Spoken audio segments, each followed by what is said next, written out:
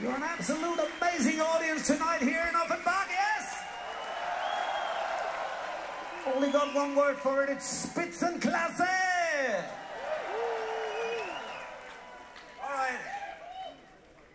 So what are we gonna do next? Are you out there, Offenbach?